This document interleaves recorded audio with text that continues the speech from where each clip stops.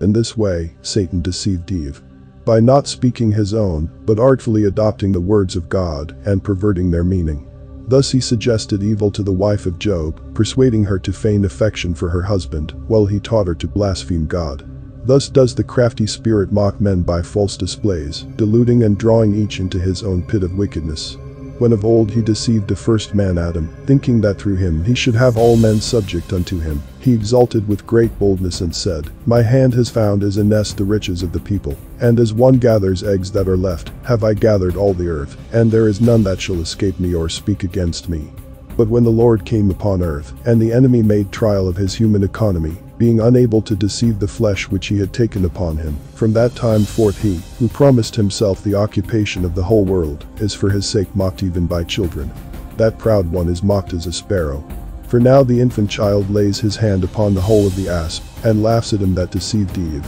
and all that rightly believe in the Lord tread under foot him that said, I will ascend above the heights of the clouds. I will be like the Most High. Thus he suffers and is dishonored, and although he still ventures with shameless confidence to disguise himself, yet now, wretched spirit, he is detected the rather by them that bear the sign on their foreheads, yea, more, he is rejected of them, and is humbled, and put to shame. For even if, now that he is a creeping serpent, he shall transform himself into an angel of light, yet his deception will not profit him. For we have been taught that though an angel from heaven preach unto us any other gospel than that we have received, he is anathema. And although, again, he conceal his natural falsehood and pretend to speak truth with his lips, yet are we not ignorant of his devices, but are able to answer him and the word spoken by the Spirit against him. But unto the ungodly, said God, why do you preach my laws? And praise is not seemly in the mouth of a sinner. For even though he speak the truth, the deceiver is not worthy of credit. And whereas scripture showed this, when relating his wicked artifices against Eve in paradise, so the Lord also reproved him first in the mount, when he laid open the folds of his breastplate, and showed who the crafty spirit was, and proved that it was not one of the saints, but Satan that was tempting him.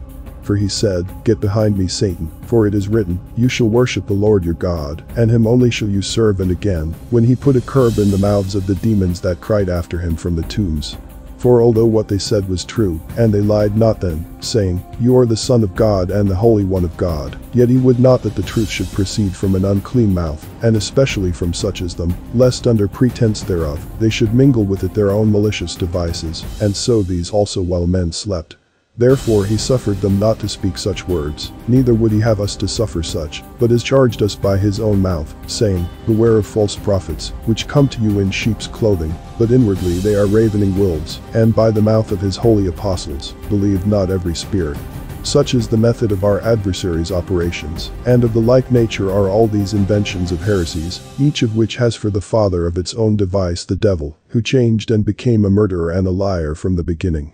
but being ashamed to profess his hateful name, they usurp the glorious name of our Savior which is above every name and deck themselves out in the language of Scripture, speaking indeed the words, but stealing away the true meaning thereof, and so disguising by some artifice their false inventions, they also become the murderers of those whom they have led astray.